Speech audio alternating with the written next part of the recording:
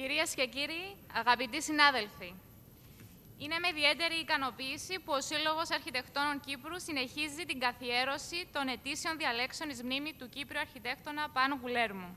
Και εκ μέρους του Διοικητικού Συμβουλίου σας καλωσορίζω στη διάλεξη του Ελβετού αρχιτέκτονα Κριστιαν Κερέζ. Η διάλεξη στηρίζεται από τις εταιρείες Rainbell Systems, Grohe και Thanos Επιφανίου Limited, προϊόντα Laufen, των οποίων διευθυντέ και εκπροσώπου ευχαριστούμε ιδιαίτερω για τη συνεργασία και την παρουσία. Dear Mr. Christian Kerez, uh, on behalf of the Cyprus Architects Association, I would like to thank you for accepting our invitation to participate at Cyprus Architects Association annual lecture. Being the speaker for the annual lecture is a great honor for all of the architects. I'm sure that your lecture will be enlightening and interesting for the audience, providing inspiration. Once more, I thank you for being here with us tonight, and may you have an enjoyable time here in Cyprus. Τη διάλεξη χαιρετίζει ο Γενικός Γραμματέας του Συλλόγου Αρχιτεκτόνων Κύπρου, κύριος Παναγιώτης Παναγή. Αγαπητέ Παναγιώτη, παρακαλώ πως προσέλθεις στο βήμα για τους χαιρετισμού σου.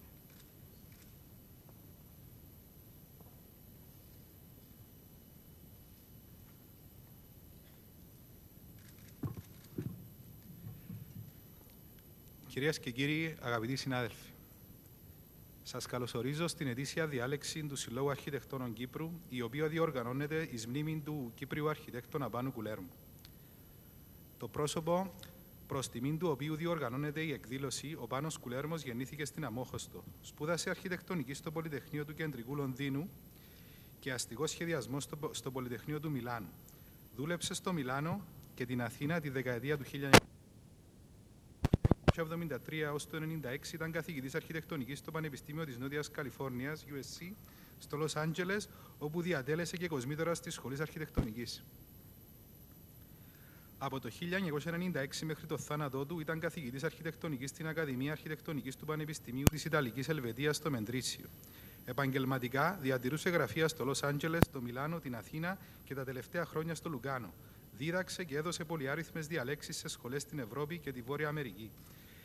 Εκθέσεις για το έργο του έχουν γίνει στο Λος Άντζελες, τον Μπένος Άιρες, το Παρίσι, τη Βενετία, το Μιλάνο, τη Θεσσαλονίκη, την Αθήνα, τη Λευκοσία. Το πρωτοποριακό έργο του δημιουργού Πάνου Κουλέρμου αποτελεί σημείο αναφοράς για την εξέλιξη της αρχιτεκτονικής σκέψης και πράξης που καταφέρνει να ξεφεύγει από τα όρια του κυπριακού χώρου και είναι για τον λόγο αυτό που οι εκδηλώσεις μας αφιερώνονται προς τιμήν του.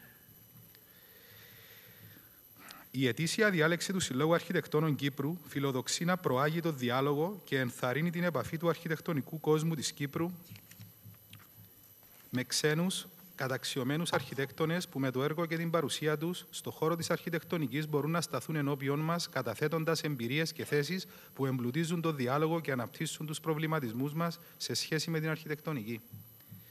Με αυτή την έννοια, φιλοδοξούμε η ετήσια διάλεξη του Συλλόγου Αρχιτεκτόνων Κύπρου να αποτελεί τον κορυφαίο θεσμό στο ρεπερτόριο των εκδηλώσεων της αρχιτεκτονικής πέρα από το επαγγελματικό και παραγωγικό έργο που καθημερινά επιτελείται. Ο Σύλλογος Αρχιτεκτόνων προσπαθεί σε κάθε περίπτωση να αρθρώνει παρεμβατικό λόγο, διοργανώνοντας εκθέσεις, διαλέξεις, σεμινάρια, ενθαρρύνοντας την προκήρυξη αρχιτεκτονικών διαγωνισμών, προβαίνοντας σε εκδόσεις, συμμετέχοντας σε διεθνή φόρα και διοργανώνοντας γενικότερα εκδηλώσεις που προάγουν τον διάλογο. Οι εκδηλώσεις στα πλαίσια των αρχιτεκτονικών διαλόγων στοχεύουν επίσης στην καλώ νοούμενη εποπτεία των εξελίξεων στην αρχιτεκτονική και στην προβολή των νέων τάσεων στον κόσμο.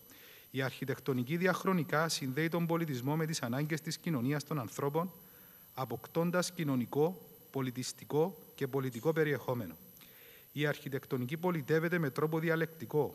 Προτάσεις προτάσεις και ιδέες που να ανταποκρίνονται στις ανάγκες του σύγχρονου και του μελλοντικού δημόσιου και ιδιωτικού βίου, συμβάλλοντας δημιουργικά στην αρμονική εξέλιξη των σχέσεων του ανθρώπου με τον συνάνθρωπο, το περιβάλλον, την ιστορία, τον πολιτισμό, την τεχνολογία και το μέλλον του.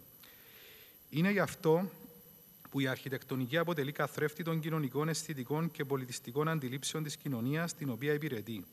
Καλείται να ανταποκριθεί στις εκάστοτε σύγχρονες συνθήκες, επαναπροσδιορίζοντας το ρόλο, τις προσεγγίσεις και τα εργαλεία της, προκειμένου να παραμένει ο ρυθμιστής στη διαμόρφωση ενός κοινωνικά και πολιτιστικά ευαίσθητου ποιοτικά δομημένου περιβάλλοντος. Εκδηλώσεις από καταξιωμένους δημιουργούς, όπως τον Κριστιαν Κερές, συμβάλλουν στην καλλιέργεια και διάδοση αυτής της αρχιτεκτονικής παιδείας και μέσω ενός διαλόγου συνδέουν την αρχιτεκτονική με τη ζωή και με την αναζήτηση ποιοτικής υπεροχής και ευαισθησίας του ανθρώπου που ζει σε ένα χώρο προσεκτικά επιλεγμένο και δημιουργημένο για τον ίδιο. Αγαπητοί προσκεκλημένοι, αγαπητοί συνάδελφοι, Σας καλωσορίζω στην ετήσια διάλεξη του Συλλόγου Αρχιτεκτόνων Κύπρου και εύχομαι σε όλους μας να αποκομίσουμε χρήσιμα συμπεράσματα για αυτήν. Με την ευκαιρία θα ήθελα να σας διαβεβαιώσω ότι ο Σύλλογος Αρχιτεκτόνων θα συνεχίσει να εργάζεται για τη διοργάνωση παρόμοιων εκδηλώσεων, διευρύνοντας τις ευκαιρίες για ανάπτυξη διαλόγου και επιμόρφωση. Στο σημείο αυτό θα ήθελα να εκφράσω θερμές ευχαριστίες και συγχαρητήρια προς όλους όσους εργάστηκαν για τη διοργάνωση της εκδήλωσης, αλλά και τους χορηγούς της εκδήλωσης Rabel Systems, Κρόχε και Φάνο Επιφανίου Limited. Σας ευχαριστώ.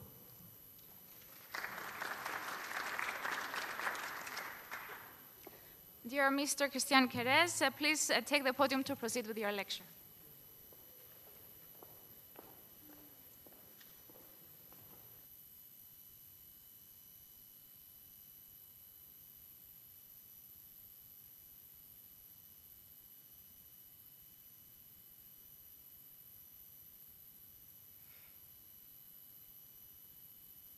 You know, there's something very difficult with lectures on architecture the only thing which you don't experience is architecture. I will talk about architecture, I will show some pictures, I will show some drawings, some models, but actually it's all, let's say, illusion. It's only talking about architecture, but it's not architecture itself.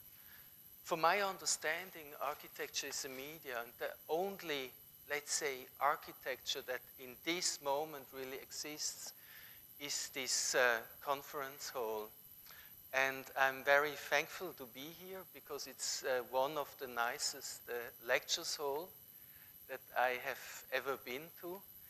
Um, a space that, that has very specific qualities and a space that also talks about how it was manufactured, what was the purpose, the intentions, how it was used, it's, it's more a street than a lecture hall, and you can also hear the traffic of the cars passing by.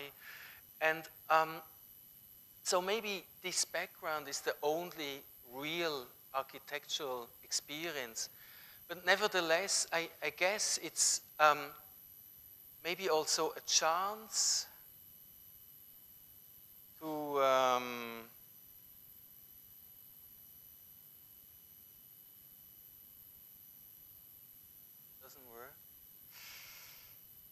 Um,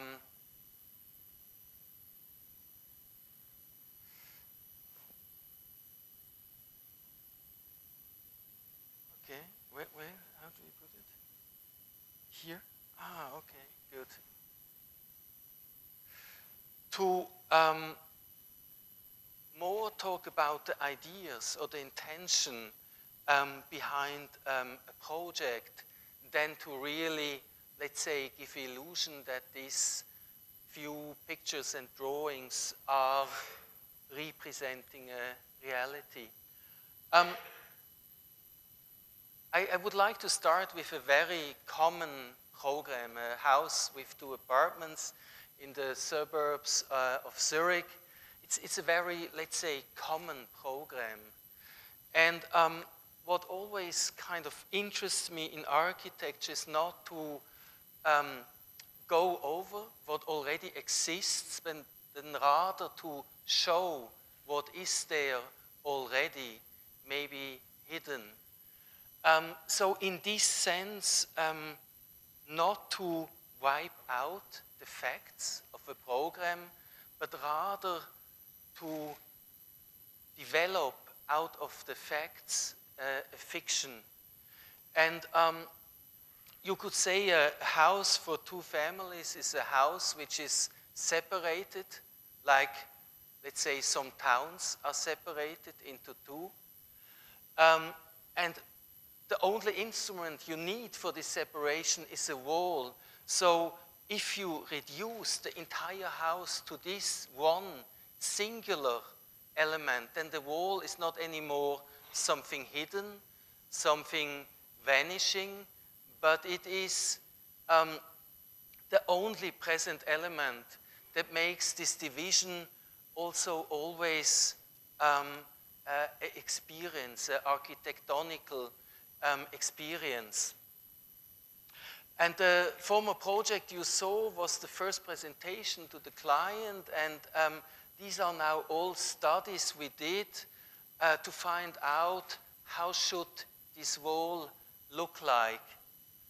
Um, and the floor plans, they change from one level to the other. They start in an informal way in the basement. Then you have the smallest possible bending that the, fall, uh, that the wall wouldn't fall down. And then you have um, the upper floor, which is kind of drawn in a way that it integrates um, the bathroom. Um, and the, let's say, actual reason why these walls look as they look in the end is how they sit on top of each other. Because a stair goes from one end to the other of the house.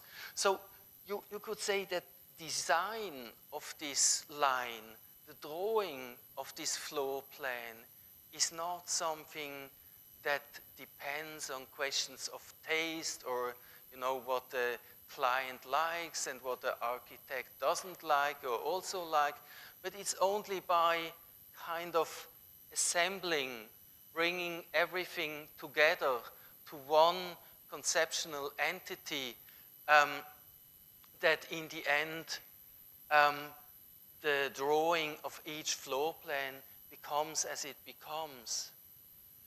Um, so in this sense, you, you could say it's not a design, you know, the, the walls, they have to be like that. Once you accept the premises that this house is only defined by one singular wall. Um, construction site, more or less like uh, the exhibition model. And the house itself, in the end, just the cladding of this raw concrete structure. The folding of a wall also defines the views on each level different from each other. This is, um, let's say, the living room, uh, or looking from the dining room through the kitchen to the living room. In the end, all these definitions for me have no relevance. The only thing which I think is interesting is what can an architect propose as a space if it's used for living or dining who cares? Um, this is the upper floor, which now is oriented uh, to the lake of Zurich, while the other apartment gives a view um, to the town, to the city center of Zurich. And this, this idea of space is in the end also like um, an attempt to make out of something very restricted, of a small program, a small plot, um, something big, endless. Uh, and you see that uh, once you open the door to enter this house, you can look to the end of the house and you can look through all three levels. And this perspective gives a monumental view to an otherwise very modest, simple, and uh, small house.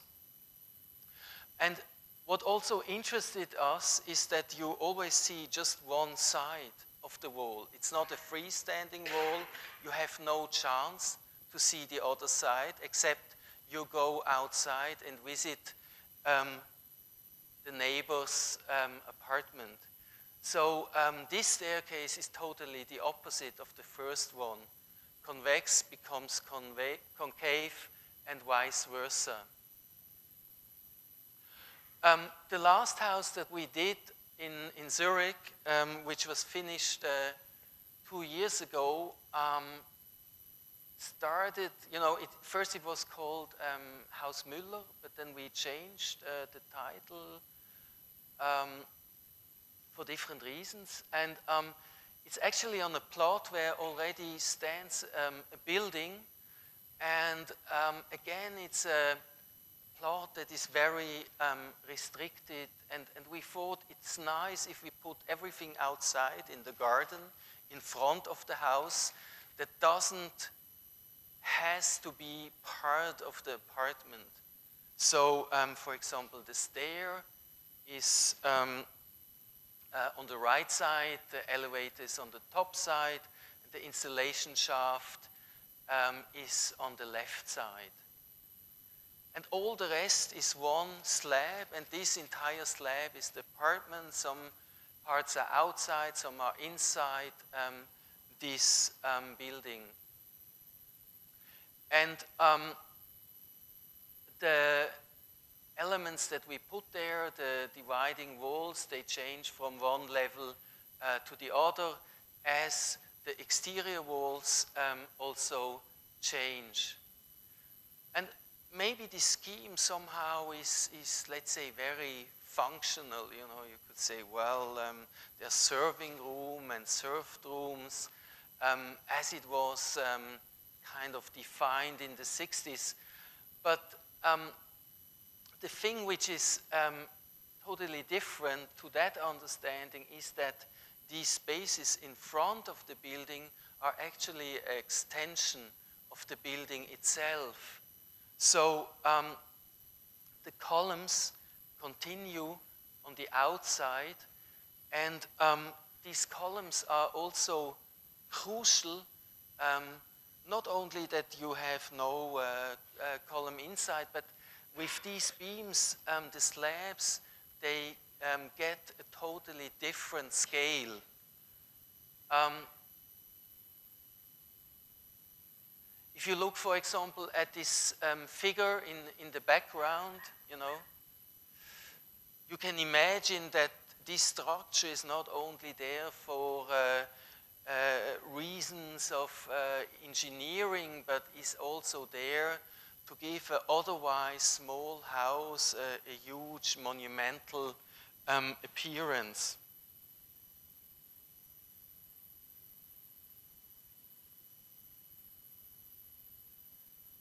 And you, you could look at this, let's say, like a table with four legs, and you cut one leg, and because of that, the entire structure has to increase in, in terms of um, scale and proportion.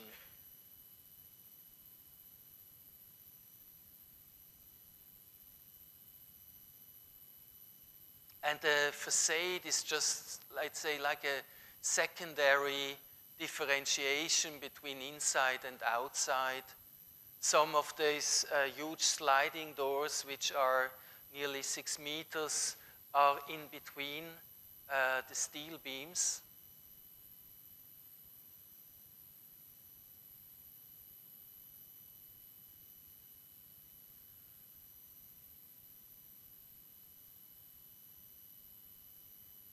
And again, you know, um, besides, uh, let's say, functional descriptions, bedroom,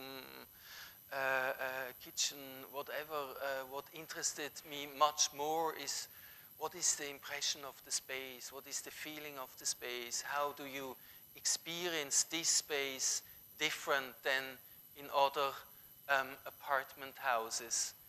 And it could also be that, you know, in, in, in, in Zurich, where everything is small and modest and kind of distant, uh, it, it, was also an attempt to um, propose something totally different, something that is monumental, that is extroverted, that, that uh, also has a space with unclear boundaries, which is not kind of um, uh, nice and uh, modest.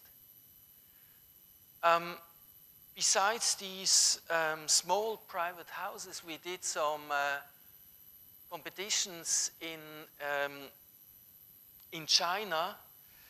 Um, of course, we did also competitions in Switzerland, but the reason why I liked much more to work in China is um, that I don't understand China. You know, I know Switzerland. I know what are the expectations, and and I don't feel free because I know too much about you know how decisions are made, what are the expectations, how you have to respect which rule and which you, rule you can totally ignore, and um, why a decision is done like this and not like that, and so on.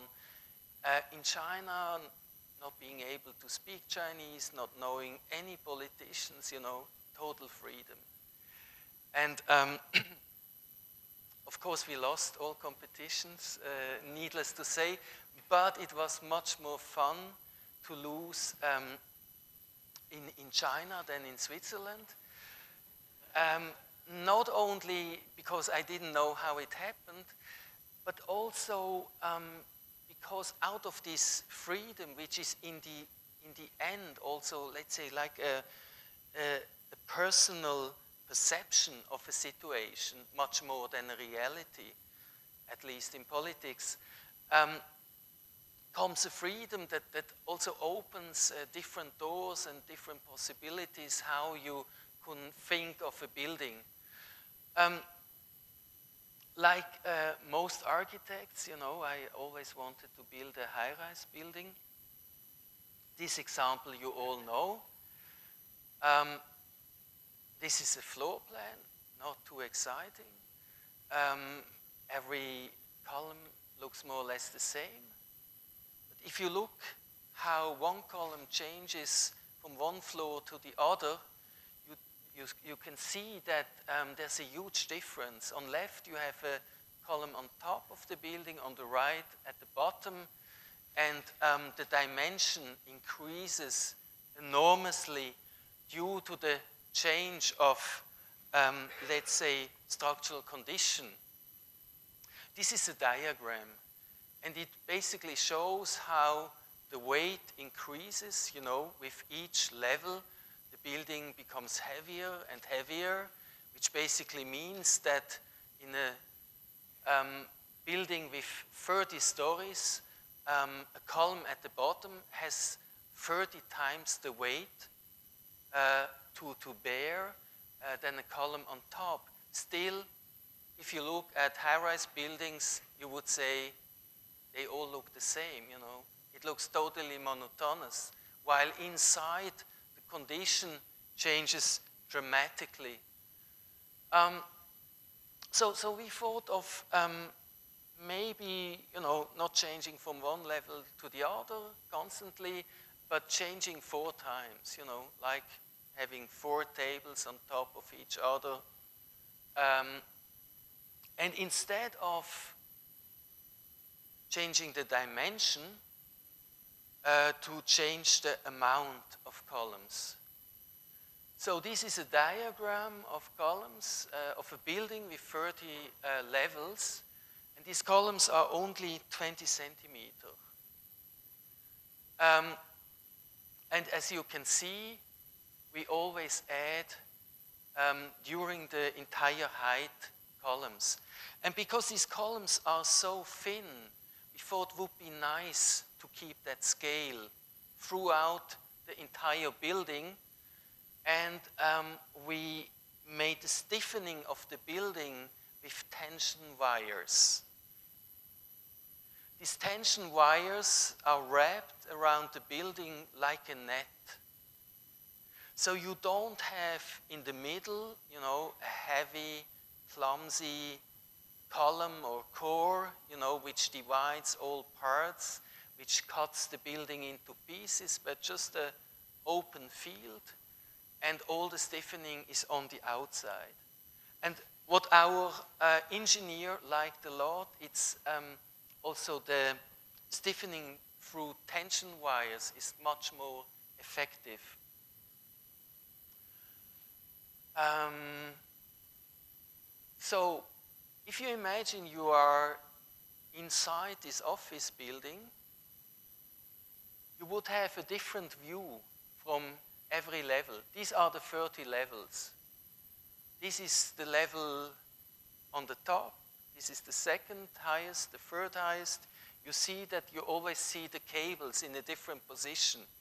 So the change doesn't come, let's say, from any artistic intention, you know, to say I paint the building at the bottom, you know, where the earth is brown and then on top blue and then I change slightly from brown to blue. There's no symbolic um, narration behind it. It's pure necessity why the look of the building has to change.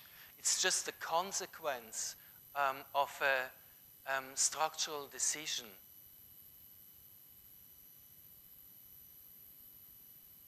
And moving upwards, you can see that the density of structural element changes and also, for example, the height of the beams, the number of beams changes. On top, you have very few columns, so the beams become extremely heavy because you just have a small number of them. Um, the interior would be free for use. You could use it however you want. Um, you can see in this building to all four sides. You don't have the obstacle um, of a core in the middle. And um, every floor plan could look differently. And even in the section, you can imagine that the slabs are a secondary infill which can easily be removed or changed from one level to the other.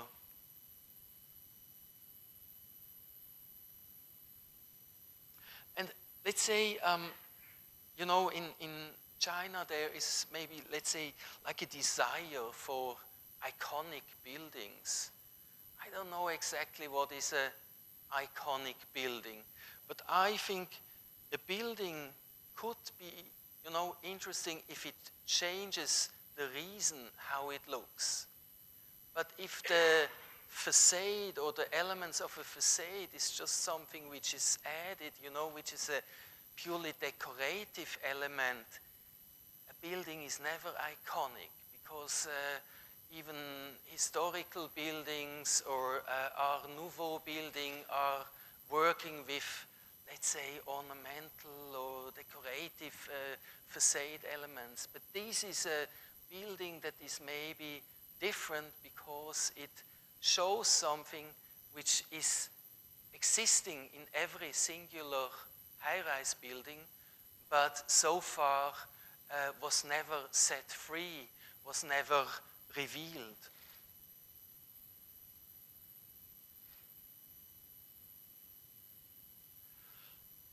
Um, so far, the last competition we uh, did in, in China was a competition with a, um, a program of uh, 230,000 square meters um, with uh, shopping, parking, five different subway stations, a park, and three museums.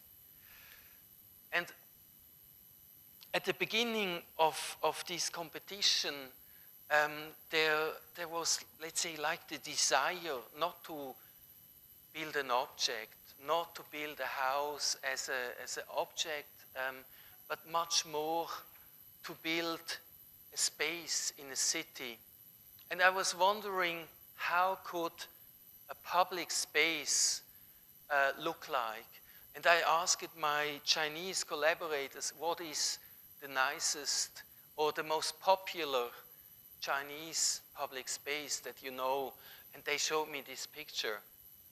Um, and what I liked about it is that it's a space that is not like a Italian plaza, you know, just a kind of a frame and uh, totally open to the sky, but it also has a, a ceiling. It's like an interior space um, it's, it's not anymore, the public space is not anymore an exterior space. And, and these I, I thought is, is, could be very interesting also uh, if you imagine to build on a plot like that. Um, where I always wonder, you know, what, what, does people attract to visit this uh, town? And you have to imagine that uh, Guangzhou has 9 million tourists every year. Uh, this is the same amount as Paris. But of course, they don't come from all over the world, but mainly from uh, the Pearl River Delta. Um, so the, the whole project started with um, the question, how can a building relate to environment, to, to the landscape? Um, how could you create a space um, with a building? So not the building itself is, you know, the, the important thing, but actually the, the landscape. And the building should be just a part of this um, landscape garden. So that it is not anymore clear, you know, what is massive, what is hollow, um, uh, what is interior, what is exterior. Um, this is a mountain, obviously, but then it becomes like an interior setting and not anymore as you imagine a, a mountain as an object. Um, and, and maybe, let's say, these models look um, a bit absurd or, or look just like um, fantasy, but um, I will show you the interior space of this model here. This is the model, this is big like that. And this was, you know, the vision how this public space could look like. A space where people could meet, where people could also enter without paying a ticket, um, where there are some landscape elements, some um, large-scale art uh, works.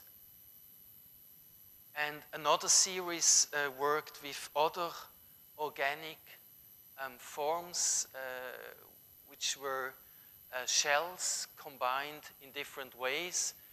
Uh, and here again, we will focus on this model on the top. And this is a picture inside that model, just a collage. Uh, we added um, a river and um, an artwork, some people, a texture uh, on the plaster. And again, you know, this is architecture. It's not a vision. It's, it's not um, a collage. Uh, it, is, it is actually what we also submitted in the end. And if you look at the people in the background, you see that the scale actually comes from this uh, 1 to uh, 500 uh, model. And also the way how you can look from one space to the other um, and only then uh, go outside um, the park. The exterior is also composed of fragments of spheres, uh, like the interior. I would say this is the only very realistic project we, we did in China, because if you control 20% of the project, which is what is possible, um, the self-supporting and hanging shells, then you can control the, the, entire building. And all the rest is maybe more a curatorial um, decision. Um, is how the building looked outside. Uh, so the art museum uh, on the left, the city museum on, on the right. Um, yeah, I, I, also imagine um, it's nice if the architecture is important in, in a museum, not only the content. That the museum is only built for people that are maybe not interested in art, but they still would enjoy to go there. These are all free museums, um, how they work together, how they open in a different way. A public space.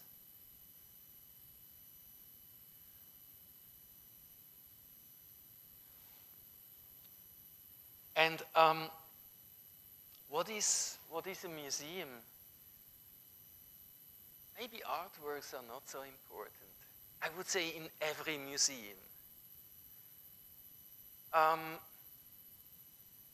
maybe a museum you could also imagine as a place where you just go to enjoy yourself, to meet other people. And um, part of the people are interested in um, calligraphy from Pearl River Delta area, uh, from the post-war uh, period, because this is what will be shown there. Extremely, you know, specialized. Um, but maybe also too specialized to, to be the, the main purpose um, of the building. So the um, lobby, in this sense, is much more a space that kind of relates to uh, a workers' club from the 20s or 30s from a communist um, country, um, a place uh, for the education and entertainment simultaneously of the masses, not just of a few selected uh, individuals.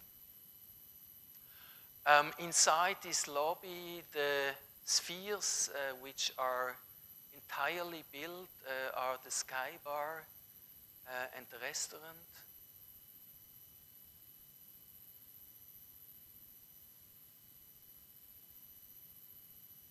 Anyway, this was also um, a lost competition. Yeah, I, I always wanted, I admit it, you know, I always wanted to build something really big. And then then came this, this uh, one competition that we won, and this was for the Swiss Pavilion to do something for the Biennale. And I will show it afterwards, but we showed basically um, at the Venice Biennale two projects, and I will show both. Uh, one was a project uh, for the extension of a favela in Sao Paulo, and you can see here it has a very long story, you know, over, um, over seven years with some interruptions. Um, and um, yeah, the Biennale last year, reporting from the front, was supposed to talk about our time and um, our times, you know, have some problems. And I always think, thanks God, you know, maybe this is a perfect reason why architecture today has to look different than what it looked 20 or 40 years ago. If you visited the Biennale, you would say, well, it's all still looking the same, but there's a different reason now why it still looks like that. Um, and um, it's also a question, what do you show from the front? And, and we actually made two contributions. Uh, one was um, reporting from front uh, in, in Sao Paulo, but it was also showing all the difficulties we had with this project and what happened uh, with the project. So it was not a success story, but let's say in my understanding, architecture is more about finding out things or kind of developing things than really changing the world to become a much better place. I, wish architects would be that influential that they could change the world. But I think mainly architecture is a discipline, and the most important question is what can you reveal and experience within this discipline? Um, we were asked to, to kind of make an upgrading for a favela. And um, I don't know why does a favela need any upgrading? I mean, you could compare the two and say, yeah, I like more white than red, so I prefer the picture at the bottom. But you could also say, well, this has a much higher floor area ratio, uh, 1.7 and this only 1.3, so this is much more efficient. Example on top is cheaper, it's changing faster, there are much more people living there. So actually it has a lot of advantages. And therefore we um, made a proposal not to introduce new spaces to the favela, but just to increase the density. It looks very easy on the picture, but it turned out to be um, extremely difficult or even impossible. Um, after a first uh, visit um, on the site. And um, I, I, have the utmost respect, you know, for, for the favela. And, and I, I was also touched uh, by, by the beauty of the favela. I mean, it's, it's um, I, don't know. I wish uh, this would be a project of mine, you know. It's, um, it's fantastic. I, I, I, never could design something like this, but um, and, and I was also impressed by the scale of the spaces. What is so different? What is bad about the favela? You know, it's just a village, um, a city, and the spaces are extremely small, atomized nearly. Um, this is a garden, um, a house that is fallen down, no roof anymore, but somebody then used it with plenty of imagination um, as a garden. So our project was much more done with the intention to, to pay respect, to, to make something like a homage uh, to the favela and um, what we proposed is actually instead of changing the favela to extend the favela. Um, this is the very first project. Um, some of these houses are nearly touching each other. There's a difference of 40 centimeters between them. This public space dramatically changes between little squares and alleys. And this whole attitude um, is not new.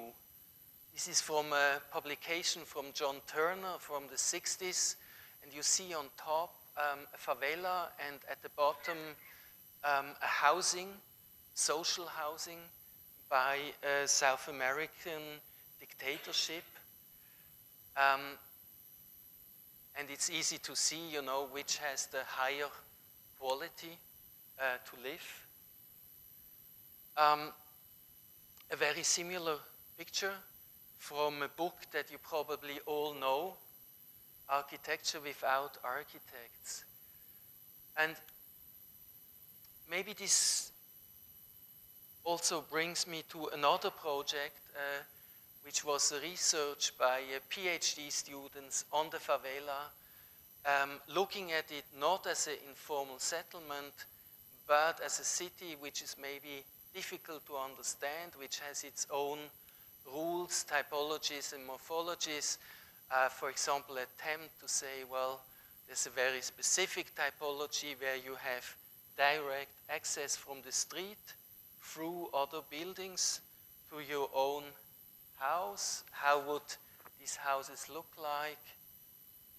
Um, and um, Hugo Mesquita um, went to several thousand houses and he measured them all, including the furniture, the way uh, how people live there, and uh, finally made these plans.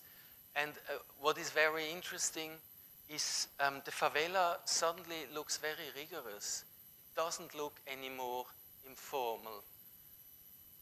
And in the end, it's maybe more the perspective, the respect for the favela itself, which um, changes uh, this uh, view. Um, we did also some trials, you know, to think about the exterior space, how we could look at it as a pattern, but in the end we came back to this very first idea um, to just have um, uh, exterior space constantly changing, um, being used in different ways, uh, privately, publicly, um, a change between alley and square. And um, could be also an imitation of a favela or a pure kitsch project. But in, in the end, um, the project is extremely simple. There are only five different houses, and each of these houses is um, repeated 90 times. So the modules of this favela are extremely rational, extremely um, basic, and the way how they arranged is the only thing that constantly changes uh, from one place uh, to the other and creates an exterior space which has labyrinthic qualities, which changes um, constantly.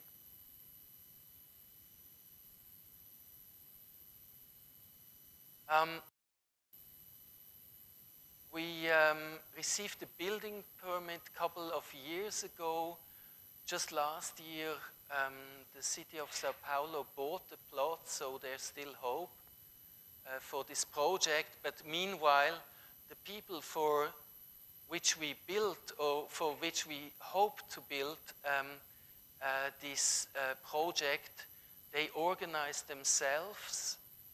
Um, in this settlement, which you can see here, and it's extremely rigorous, extremely economical. You know, there are some common spaces uh, with TV or with a coffee machine, and then all the other spaces are tents or wooden um, houses uh, where people uh, would have their privacy or, or sleep.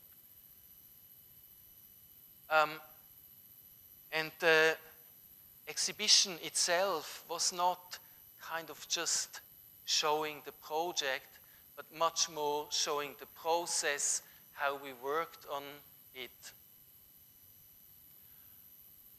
Um, and in this sense, it was not really an exhibition. It was much more a work on our own archive in the office and um, in the end showing this archive in a public space. What was for me surprising is, you know, it's not, it's not a show. It's not a kind of uh, scenography. It's just exposing the material. Even the tables were not designed by ourselves, but just um, from a local university. Is that in the end um, that the visitors are smart enough to read plans and to look at drawings also without uh, too much uh, technical efforts. Um, it's always a question, you know, if you lose so many projects and competitions, what comes out of it? And, and I think in the end, the only thing that matters is what is the change of your own awareness. Where does a project bring you? Because from there you can start and uh, do the next project. So the house Okamura would never have been possible without the experience of the favela. It is um, a house that is composed only of circular spaces. It is a house that is not anymore like the previous houses that I showed you, open. Every space is actually part of one space. Um, but on the contrary, you know, uh, uh, a multitude of autonomous uh, spaces connected with each other. But in the end, the intention to create something that goes beyond a limited uh, boundary is the same. if you look on this picture, you see that you can look to other circular spaces and there are no doors in between these spaces. Um, this is a diagram showing all the different perspectives uh, which you would have. So in the end, each space is, let's say, directly connected to a figure um, of spaces which would change from one level to the other. Um, and this project uh, uh, will be built uh, this year. We are now working on the tender drawings. Um, these are diagrams showing the three different apartments. And if you look um, at this and you see um, how actually the favela project uh, was built, you know, we first had this different units, combination of um, houses which were assembled in different ways to create um, this infinite variation of exterior spaces. You see how closely these projects are linked to each other, even if in terms of program and site or um, space, uh, they are totally different. But in the way how to experience a space, they're very close. This is, you know, um, how we work uh, in the office. Um, a lot of uh, one-to-one -one models. Um, for example, all the spaces in between the circles, they are all kind of built uh, as mock-ups because uh, these spaces are so narrow uh, that we really had to uh, find out if they still are usable. Okay, so um, the only uh, competition, you know, that, that was lately won or, and built also, we won several competitions but uh, couldn't build it. And it was exactly what I didn't want, you know, a small project. And, but then I thought actually small project could be exactly what I was looking for with the big projects something very complex. Um, and we started to think that it would be nice at the Biennale for architecture to show architecture.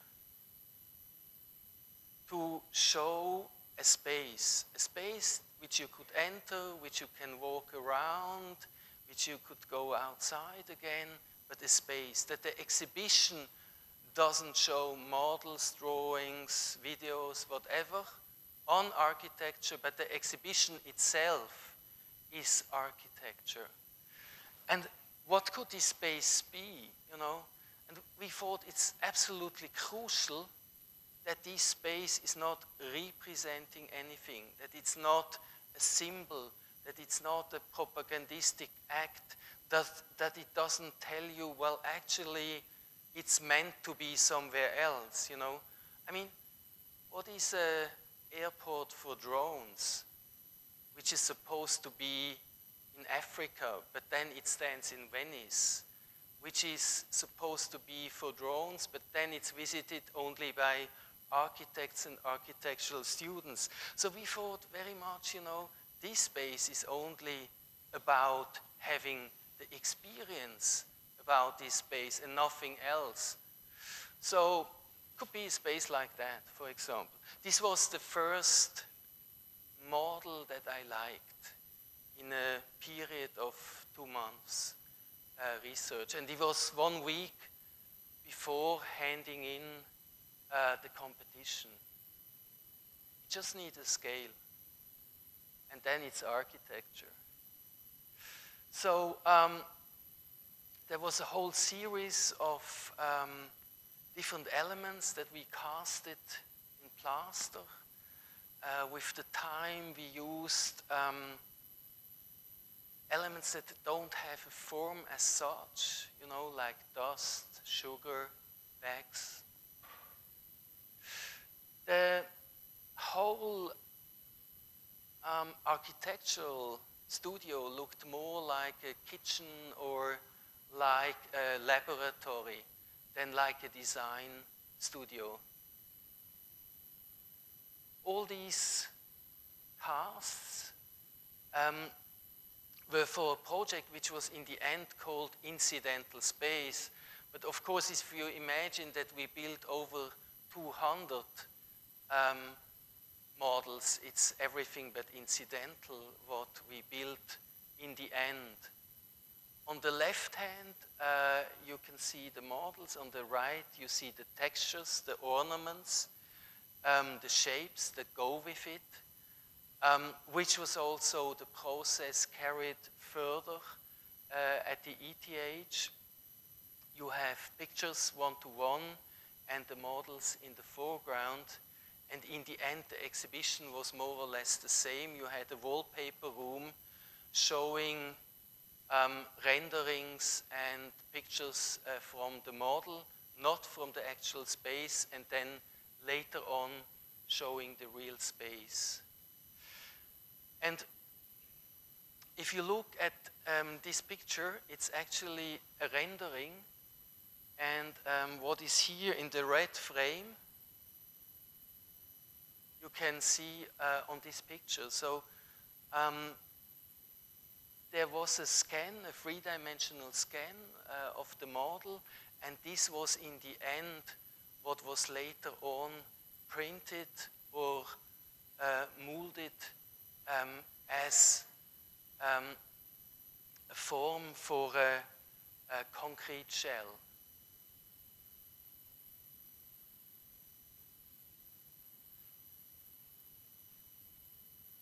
Um, This is a picture of a model.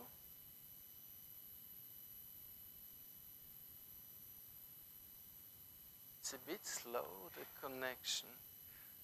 This is a picture of a rendering.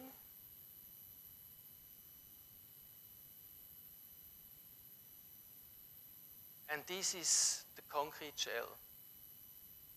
How it was transported to Venice and prefabricated in Switzerland.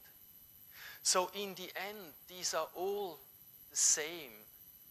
And there, there is not any drawing in the entire project. Um, the model itself had to be cut into pieces, that it was possible to make a scan of each small part. Um, and normally renderings are like used to sell a project. In our case, the render was really what was in the end uh, built. And it was much more a construction drawing. This, by the way, is also construction drawing. If you look at the outer line, um, it is a shell structure which is only two centimeters. Um, normally, we build like that, you know, slabs quite thick. Otherwise, it would not hold. But you could also imagine a third way how to reach something stable. And every paper that you take, no matter how you uh, scramble it, you know, it will be stiff in the end. Because all these breaking points of the surface, they work like a beam. And this is the structural system of the incidental space, which also allowed us to have a skin of only two centimeters for the entire building, which, is, which spans over 10 meters and is um, over five meters high. It's very hard to tell um, how the model was done, but only here you see a, screw. Um, these are the different parts. Some of them were done in foam. Um, it was very difficult to, to know, you know, to produce this piece into uh, four months. So some parts were done at the school, at the ETH, uh, some parts uh, were then cast into concrete. Um, 3D printed pieces.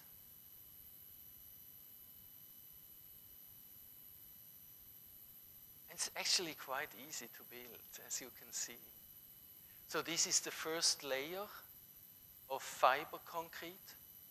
And the first layer is only to capture um, every information of the mold.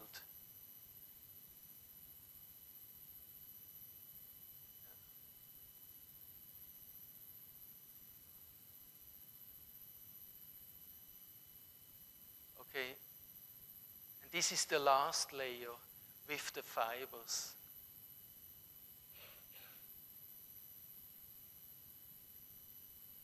It is somehow, you know, amazing that there is so much research in uh, digital fabrication, and I had absolutely no idea of digital fabrication.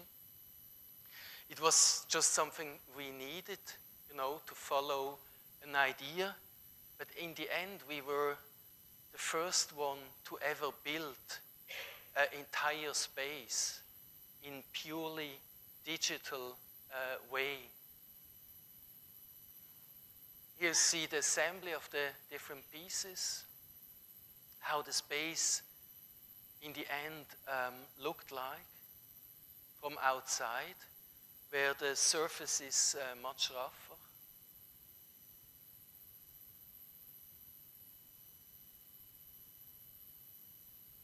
And we, we thought it's, you know, it's more interesting if we do something which we don't understand.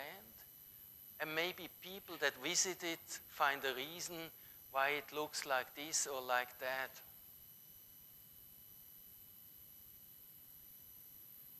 For example, we had one visitor from Greece, and he said, in the interior space, it looks like um, the day before God created the earth.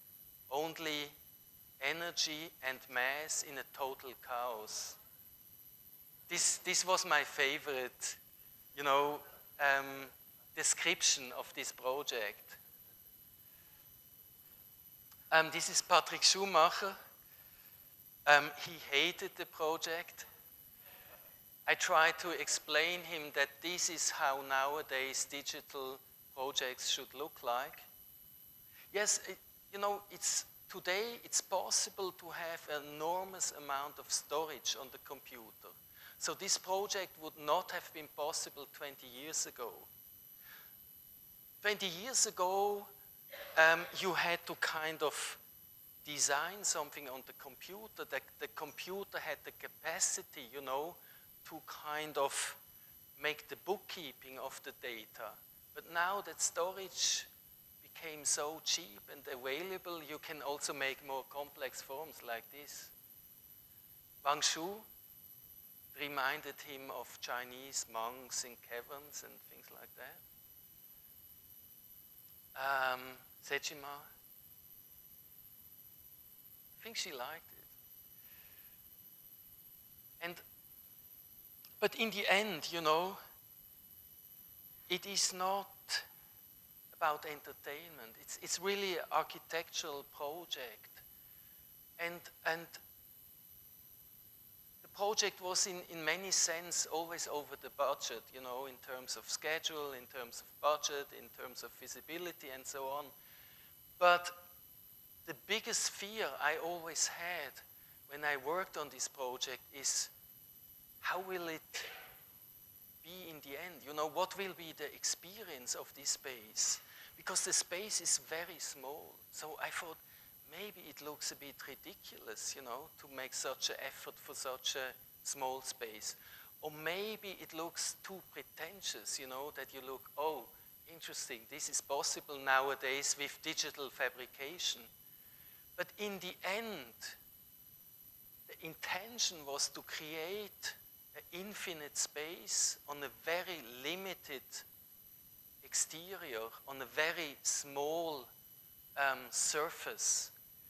And in, in this sense, it's, it's much more, for me, let's say, um, related to a building by Borromini um, than to a cavern. Because it's with artificial means, with architectural possibilities, trying to create an endless impression on a very limited uh, frame. And only this, in the end, makes this huge effort from the initial model to the final um, building uh, worthwhile. Thanks a lot.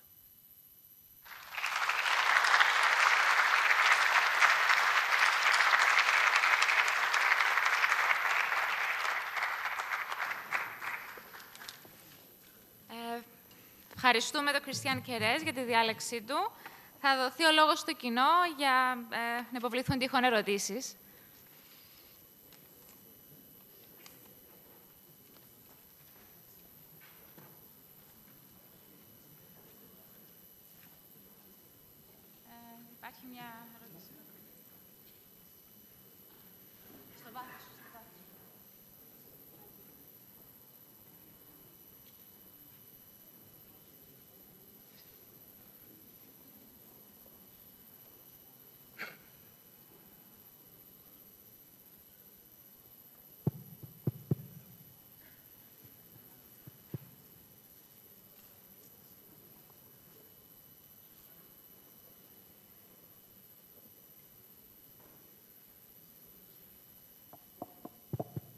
Yes.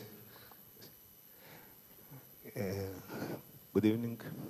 Your work uh, looks quite uh, monolithic, almost uh, single uh, dimensional. Uh, maybe it's incidental, I don't know. Would you consider a few more materials to, to be used, or um, is it that bad to paint part of the wall in the single wall house, or is it part of the architecture that you are uh, uh, doing uh, this Well, way? Yeah.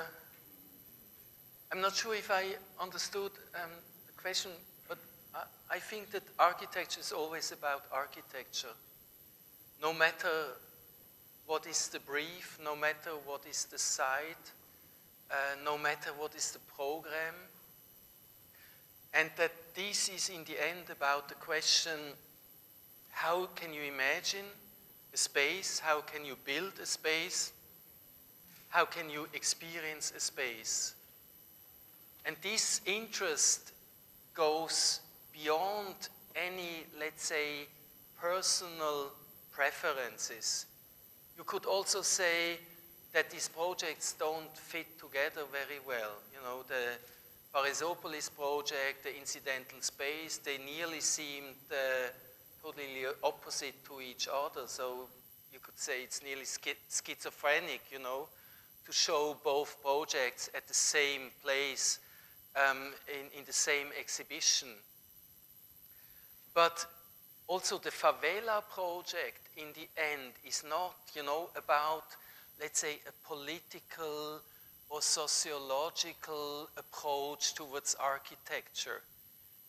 It's about the spatial quality of the favela and how can you create that and intensify that and make that more beautiful um, as an experience of space in a new project. In the end, it's always about this experience of space. So, in this sense, also the favela project is, let's say, as autonomous as the incidental uh, space uh, project.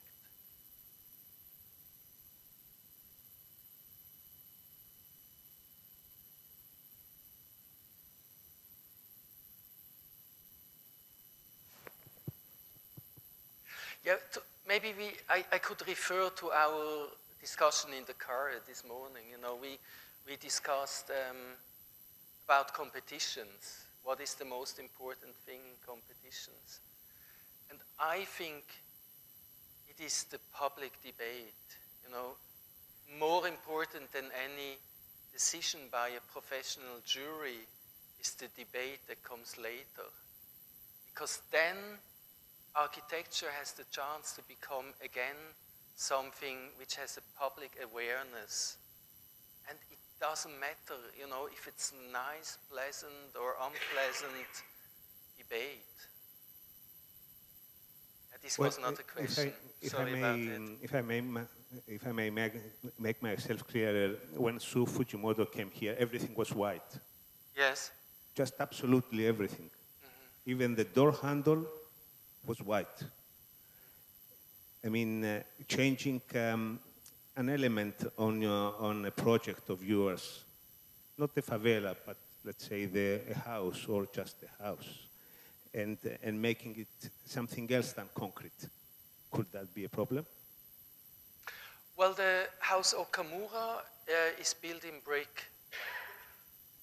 Um, and um, I would say also fiber concrete is nearly something different than concrete, you know, because it's white, because it's abstract. Um, then steel is also quite important in some projects. I basically like all materials. I could also build with shit, you know, but every material has a, you know, very special possibilities to define a space. For example, the, the, the house with a missing column, you know, the, the first thing which I proposed to the client um, was because it was standing very close to another house which I built in concrete. Um, I proposed to build it in mud. But then the client didn't like it, you know. It's, it's a bit difficult if you did some houses and people come to you and say, oh, I like your concrete. Please, you know, use it again. But I personally, I would say, I hate everything I did once, you know, to, to be, you know, to have the possibility to do something differently than what I did already. So even if projects look, but they don't look so similar. I mean, they are all rigorous, you know, that's true, but in totally different way. Not in a formal way.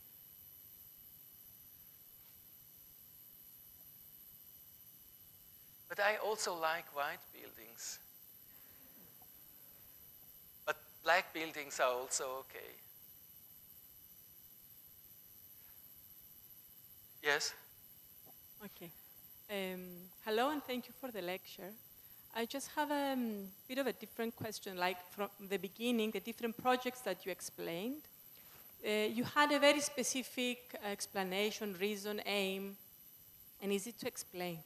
And what I found quite interesting, how the last project, you, you ended up saying that for two months you were doing different experiments, and at the end, like a week before the submission, you found a model that you really liked. Uh, I would like you to elaborate a little bit more because it's a totally new language. Yeah, so it's a new vocabulary, new experiments, um, going totally from the model kind of casting experiments that doesn't have any of the other aims you were really uh, specific about. So could you tell us a little bit more what were the things that came out of this new kind of investigation? How does it link with your aims? Like what were the things that you discovered, if you discovered any new kind of elements that you thought that became an architectural uh, vocabulary? Well, I will put it like that. The last project also deals about an idea, or it also deals about a reason why it looks like that and not otherwise. But this is more kind of um, somehow negative. You know, I wanted to do something which I don't understand myself, because if I understand what I do, I can explain it, and then it po- becomes propagandistic. You know, then it's please look here, this is um, the space that you can enter, and it stands for the future, it's transparent, it's oval, it's new, it's light, it's very ecological, what have you, you know. I wanted much more a space which I don't understand, so maybe people would go inside and say, what the hell is that, you know, or is this still architecture? Or is this a project from Christian Kerez? Or you know what is it? And and exactly because it was the Venice Biennale you know? And and this was a research. This was not just a desire you know? And whatever you do in the end you do it you know somehow with full awareness. So whatever you know object you have, you can look at it and say, aha, yeah, it's transparent because it's this material and it's round because you, you can hold it like this and so on. So the whole research was how to kind of break that. And um, uh, to not be propagandistic, to, to have something which is only a physical reality, you know, that you can enter, walk around, go inside, outside.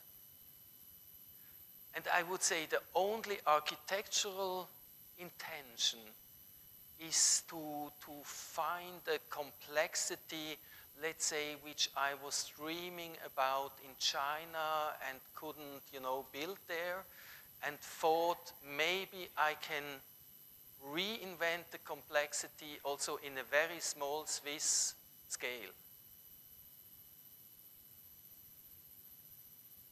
I don't know if it's rational.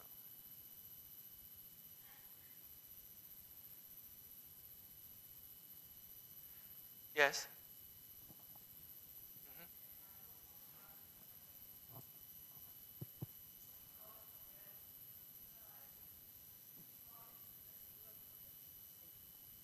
How, to, how did you decide to do that project?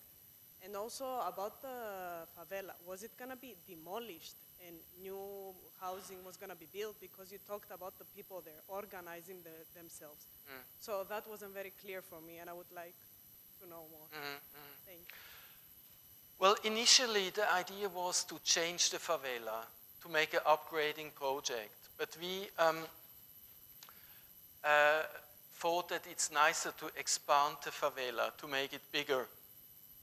And in the end, um, the city of Sao Paulo, SEABI, that is um, running all these projects, or was running all these projects, um, they like that this is like an alternative to social housing as it is built um, nowadays, which is rather modernistic, anonymous, um, uh, you know, let's say modest uh, apartment blocks, but not any specific uh, not about any specific lifestyle.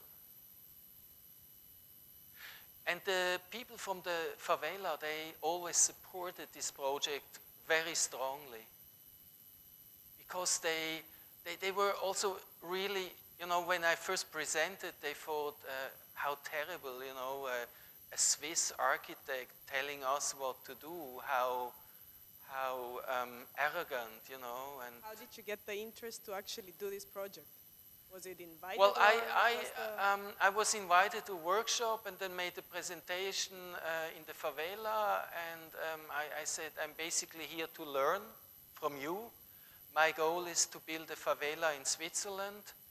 It's not to kind of um, change your own way of living because you know better how to live than me. So, um, and, and this was a good starting point to, to also get along with the project and get along uh, with the people. Yes?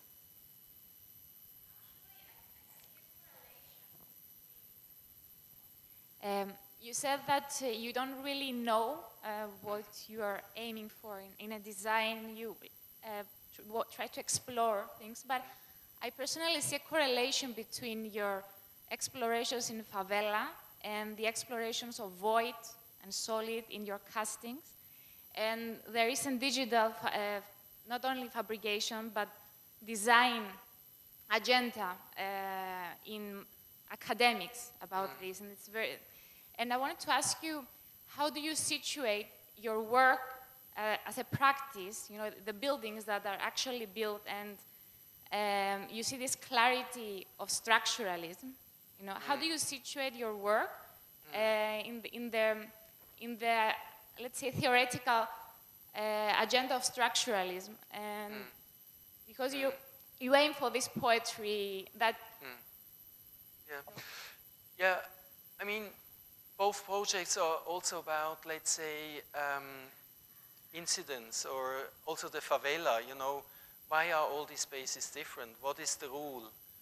And um, quite a while to say there is actually no rule. There are these uh, identical houses, but how they are arranged, you know, is, um, is, is a personal decision, you know, it's, it's not um, kind of driven by, by, by any master plan. It's the opposite, you know, of, of any order. So, so the, the, the kind of richness of the public space comes uh, from, let's say, these random decisions. And this is, is closely related to uh, the project at the Venice Biennale, the, uh, the other one. And this is a shift of interest to the first project I showed, which is always about, let's say, um, a kind of a very clear, strict, um, um, but, but somehow they, they belong to each other because I think both are driven by the desire for to create something that, that is endless, you know, or to create something that, that has no clear boundaries. bottom up. It's a, And, and maybe the, the first um, villas which I showed, the, the glass is, let's say, like kind of um, uh, breaking a, a clear notion of a borderline of a space, while later on it's more the combination of forms and uh, uh, uh, volumes, uh, even if, if the volumes are totally closed.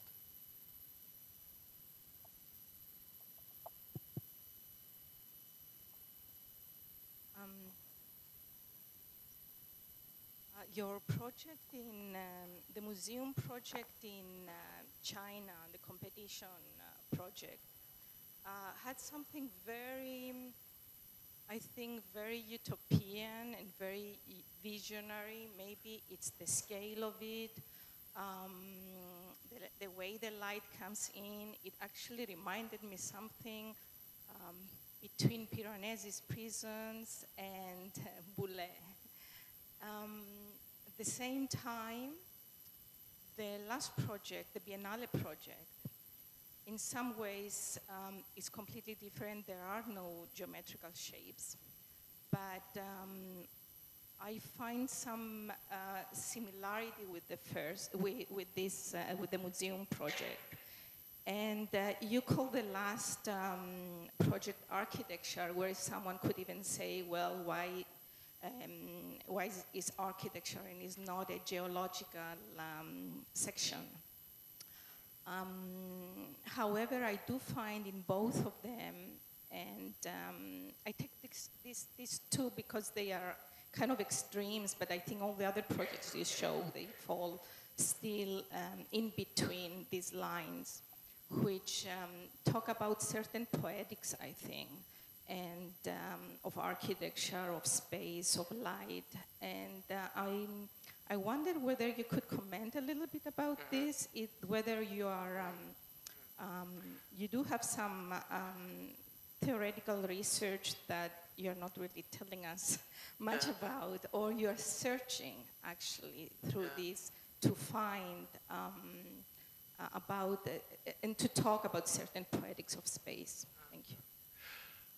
Well, I, I would say both projects are somehow similar in the sense that they um, kind of insist on the media of architecture, on the space, and they reject certain expectations.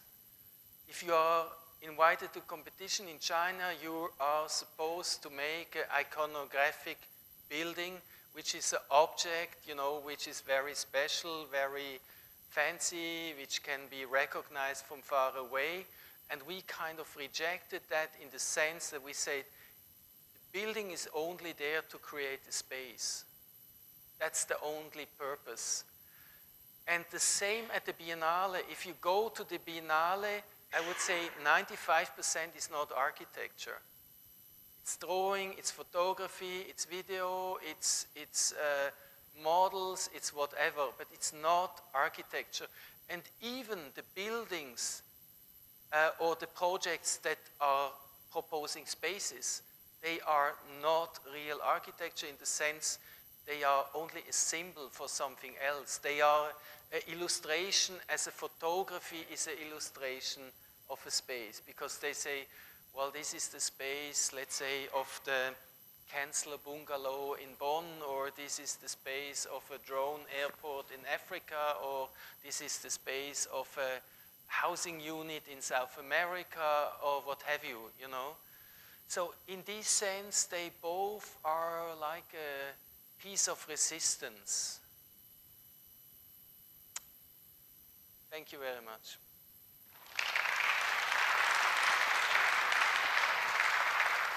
Παρακαλώ παραμείνετε στις θέσεις σας, γιατί θα ακολουθήσει η βράβευση.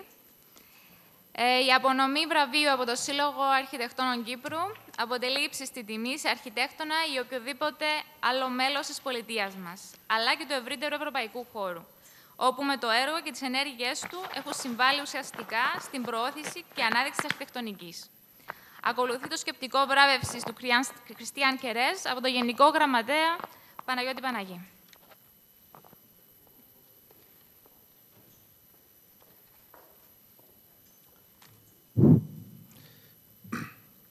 Καλησπέρα. Καλησπέρα πάλι. Ακολουθεί το σκεπτικό βράβευσης. Η ετήσια... Η ετήσια διάλεξη του Συλλόγου Αρχιτεκτόνων Κύπρου, η μνήμη Πάνου Κουλέρμου, φέτος έχει την τιμή να φιλοξενεί τον Ελβετό αρχιτέκτονα Κρίστιαν Κέρες. Ο Κρίστιαν Κέρες είναι απόφυτο του τμήματος αρχιτεκτονικής του Swiss Federal Institute of Technology στη Ζηρίχη. Στη διάρκεια της καριέρας του έχει ήδη βραβευτεί με πολλά βραβεία από πολλούς οργανισμούς και κέρδισε πολλούς διαγωνισμούς, ενώ τα έργα του αποτελούν σημεία αναφοράς για τη σύγχρονη αρχιτεκτονική. Ο Σύλλογος Αρχιτεκτόνων Κύπρου απονέμει απόψε το ειδικό βραβείο του στη μνήμη Πάνου Κουλέρμου για τη συνολική προσφορά του Κριστιαν Κέρες τόσο στην πρακτική της αρχιτεκτονικής αλλά και στη θεωρητική προσέγγιση συνεισφορά του.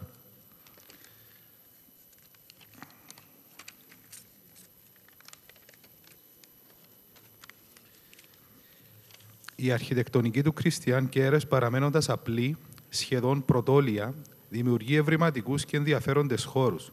Τα κτίρια του, παρότι εύκολα κατανοητά χωρίς εξήτηση, διατηρούν αμύωτο το ενδιαφέρον τους, αναφερόμενα συνειρμικά σε γλυπτική αφαίρεση. Χαρακτηρίζονται όμως από την ανθρώπινη κλίμακα, στοιχείο που σπάνια συναντά κανείς σε αρχιτέκτονες αυτής της εμβέλειας, λόγω της ευαισθησίας της επεξεργασίας των εσωτερικών τους, που δημιουργούν πολλαπλές παραστάσεις και δυνατότητες οικειοποίησης για τους χρήστες. Οι πιο πάνω αναφορές τον καθιστούν άξιο για το βραβείο, αλλά πιο σημαντικό για μας αναφορά έμπνευσης προς αντιμετώπιση πολλών ζητημάτων της καθημερινής μας πρακτικής. Mr. Christian Keres, for your outstanding performance and excellence in the field of architecture, practice as well as theoretical approach contribution, the Cyprus Architects Association would like to present you with, a, with its 2017 Special Award. The award will be presented from the President of the Cyprus Architects Association.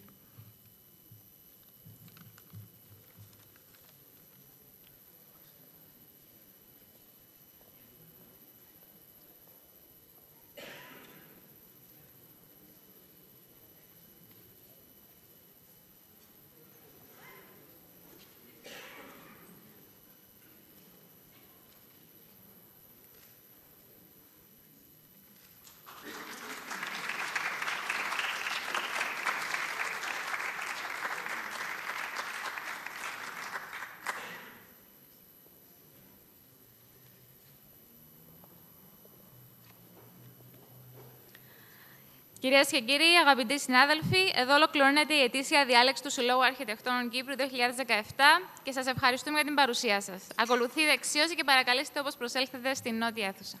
Ευχαριστώ.